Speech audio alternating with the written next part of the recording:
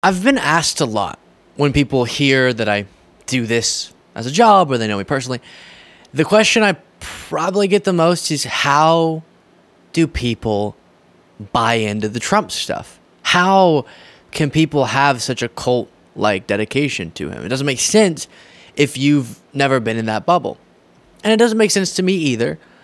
But there are a few different explanations. One of them is the media infrastructure that's been built around Trump and the foundation that a lot of these lies are built on. But but man, I have an example of uh, a big reason why the absurdity of some of the lies that Trump premises his arguments on are believed in by people. And it's because for many of them, it starts early. And if you, from being a teenager or earlier, were having certain ideas reinforced and a certain worldview constructed, by the time you're independent enough to ideally be starting to to question some of these ideas coming from political leaders like Trump, you you're already so indoctrinated, to use a term MAGA uses a lot, that there's not a ton of hope unless you really critically think your way out of it of understanding why so many of these things are wrong. Well, Trump spoke to farmers in Pennsylvania, and at this event, even Trump seemed uncomfortable by a woman telling a story of of her teenager who was in the audience and friend of the show Aaron Rupar captioned this just simply it's a cult. Watch this, then we'll discuss. Uh, can you tell the story of your daughter? Uh, yes, I'm sorry. The last thing I wanted to say is um, my hardest job is not running three businesses, it's actually being a mom um, to a daughter that is here with me today, Caroline Ray. She's 16 years old. I'm right there. Would you just raise your hand, honey, so that Mr. President can see? She's right there. Um, she is not in school today, and she asked that she could be here and she could see you. Um, I'm doing everything that I can to try to give her the truth every day. And I just wanted to say, and I told you that eight years ago when you were running, and she was just eight. Okay. She. Oh no. Oh no. I, I missed this part a little bit. I thought she was 16. Okay. She was eight years old. Ready, go when you were running, and she was just eight years old then. Every night she would go to bed, and I would kneel on the floor next to her bed, and we would pray every single night for you. And every night she would speak out to God, and she would say, Dear God, please let Mr. Trump win, please. Mm. And the night of the election, of course, she had to go to bed early because she was in school. Um, but at two o'clock in the morning, when we finally knew that you had won, I went into her bedroom. I scooped her up out of her sound sleep, and I was literally tears pouring down. And I said, Baby, Mr. Mr. Trump won, baby. He won. He won. And she said, Thank you, God. Thank you, God. And so she is here with that giggle from Trump. He's like, uh, this is. I like being having my butt kissed more than anyone else, but this is a little much. We'll be right back to the video just really quickly. If you're not already, I would appreciate you clicking that subscribe button. We are really close to 1 million subscribers. You can help us get there. Easy, free way. And then we do have merch at lukebeasleymerch.com with Harris as a promo code. You can get free shipping. Super cool election themed merch. Check it out. Back to the video. And so she is here with us today, and I just wanted to let you know that, that we, are, uh, we are still praying for you. Thank you very much. Well, it's almost more important today. Thanks,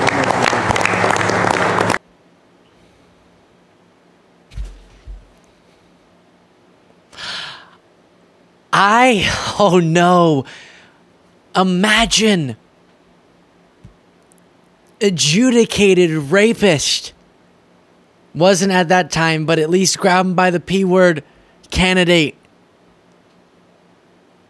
Who showed Americans just how low character you could be in so many areas and still attain power. Imagine saying to your eight year old, him, we want to beg God for his success. I want you to grow up and admire men like him. Respect people like him. When you grow up and you have less rights than you did today, you can thank him. And I'm going to wake you up at 2 a.m. to celebrate. At an at age eight. Eight. If you were being indoctrinated, party of being opposed to indoctrination, MAGA, since age eight, that's cult. That's what that is. One thing I was really grateful for growing up was that until I expressed a political view, I never heard my parents say what their view were, was on stuff. All that was reinforced over and over is voting is really important, participating is really important, keeping up with it's really important. So we would watch uh, states of the union, uh, you know, election night results, etc. But I didn't know where they stood on things, and that allowed for the proper environment. I think I'm going to emulate that when I'm raising kids to to come to my own conclusions. And people people have such a hard time understandably so this poor girl. Ugh. She's only 16 now. She's been going through 8 9 years of this. Unless you have some incredible mentor or you stumble down just the right rabbit hole or you're so good at critically thinking compared to most people it's going to be so tough to unravel such foundational beliefs when it started that early and it, when it was that emotionally charged. Think about how much love a kid should have for their parents. If that if you've seen your mother with that amount of emotional stake from age 8 in Trump, it will feel like you're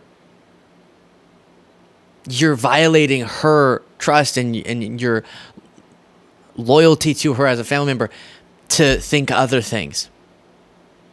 And when you hear MAGA parents say they feel like universities are places where kids are getting indoctrinated and don't send them to high school because they might learn about the truths of slavery and what they mean is they might learn that that's crazy.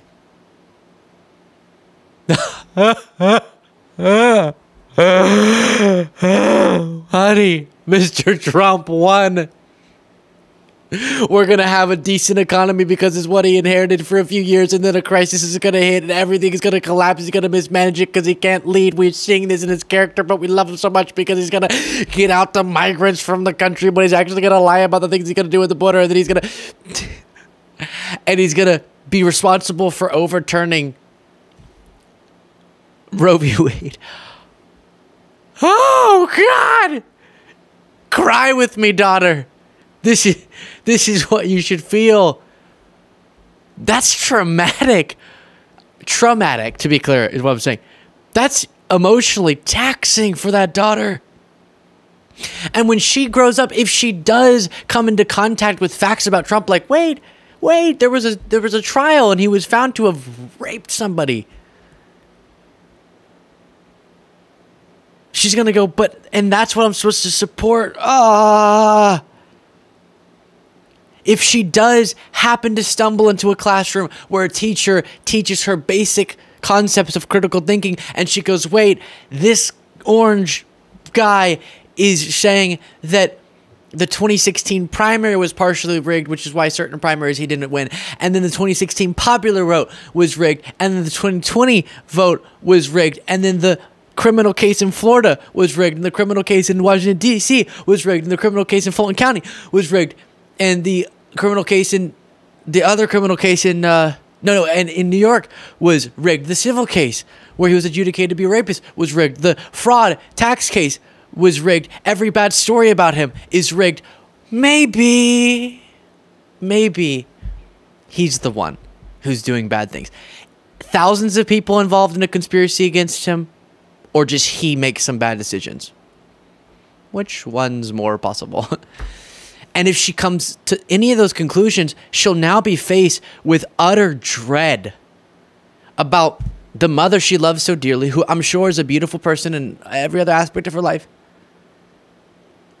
being disappointed that she doesn't want to support Trump. They're you're. Uh, Sorry, this went on way longer than I thought. I have more to show you, but they're praying every night for Trump. You're getting down on your knees with your daughter and praying for Trump, as she said,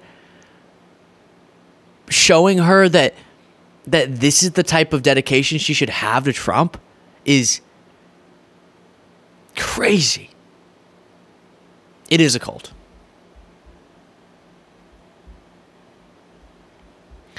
Here's another moment from this. Second thing I'm going to do is I'm going to say you have to give the death penalty to your fentanyl dealers who are sending fentanyl. You know, in China, they give the death penalty. They don't have a drug problem because they give the death penalty.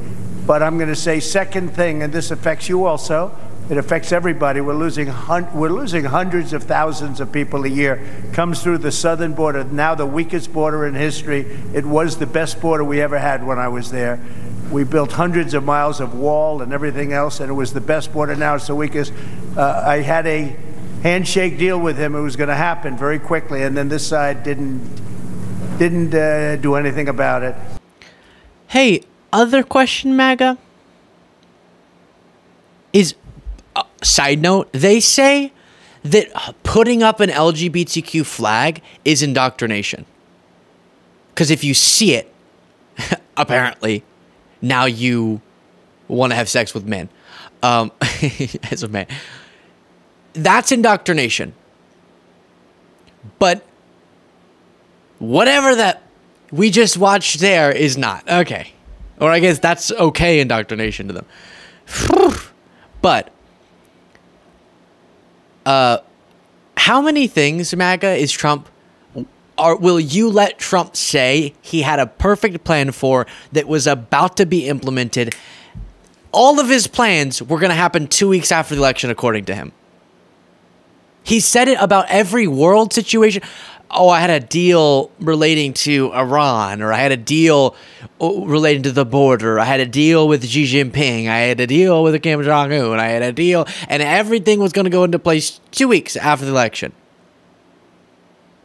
Either he's lying about having these deals, which is the only option, but let's pretend there's a second option, or he's one of the most sociopathic people who, just to punish America for not voting him in, set every single plan to start right after the election or after he left office. So, just in case he didn't win the election, every perfect deal that would have made the world perfect, according to him, wouldn't happen. Either option is not great. He said this about so many things.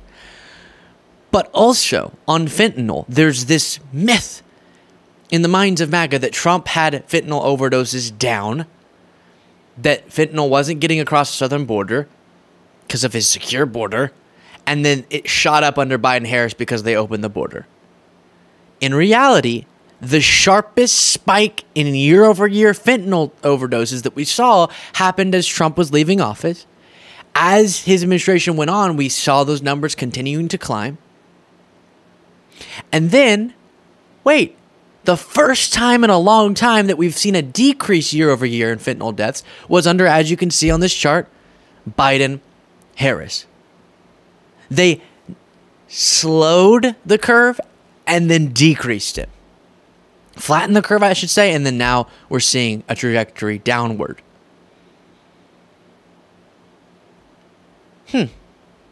Always ask yourself if you're out there, MAGA, are you listening? Probably not. Why then have I heard otherwise? When the facts don't align with the narrative you're hearing, there's there has to be a reason.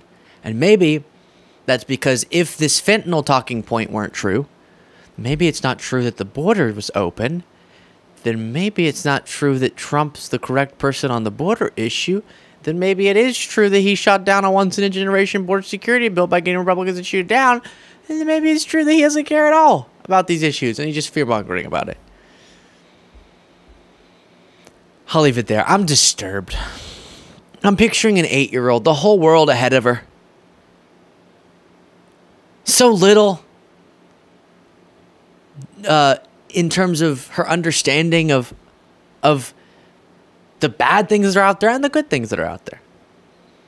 But before she can even I don't know, when do people learn certain math? Before she can do 9-year-old math, she is being taught that the grab them by the P word man is a good leader, is is who should be the most powerful person in the world. Horrifying. Horrifying. Tell me. Tell me, tell me, tell me in the comments what you thought. Support the show, get the members only bonus show by clicking that join button below.